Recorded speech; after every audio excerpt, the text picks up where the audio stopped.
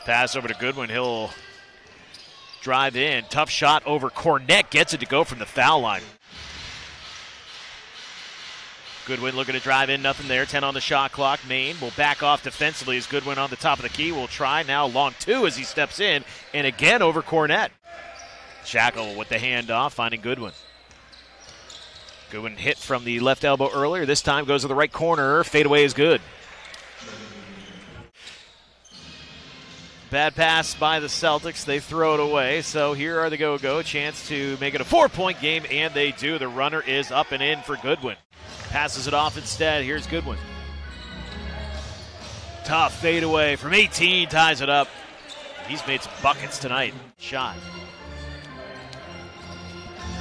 Spencer back in the basketball game for this Capital City team as the second chance opportunity 62 51 the score, 348 now remaining in this third quarter. Goodwin, long three is good, and a must needed bucket there. I'll tell you, that is big time.